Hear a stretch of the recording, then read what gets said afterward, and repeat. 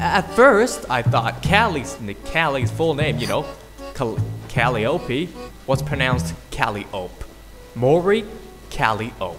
But then later, I discovered that it was not, in fact, Mori Calliope, and it was, in fact, Mori Calliope. You know, you pronounce you pronounce the P. You say fuck all to the laws of English, and you, you pronounce the P. So I thought, okay, fine, it's Cal it's Calliope, it's Calliope, not not Calliope. Okay, that and that should have been it. You know, end of end of the story. You know, they lived happily ever after. World world peace.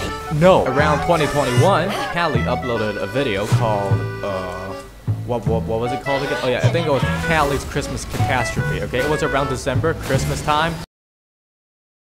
But then, they discovered that she was Callie, and then one of them said, Oh my god, It's Calliope! and then that, and then, and I was like, what the fuck? Is it Calliope or Calliope? And why would you pronounce it Calliope if you were pronouncing it Cal- Calliope like literally four months ago? But yeah, apparently now it's Calliope. But if it's Calliope, why do Callie's friends keep calling her Callie? They're supposed to be calling her Callie because that's how logic works. But apparently Hololive does not want to follow logic, so they're like, You know what?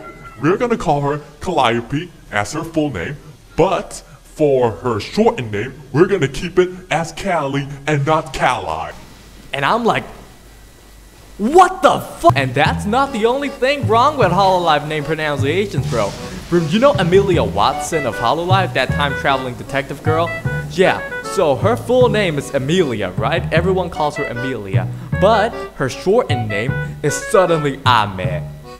What the hell is a Ame? If you call her Amelia Watson, shouldn't her shortened form be Ame and not Ame?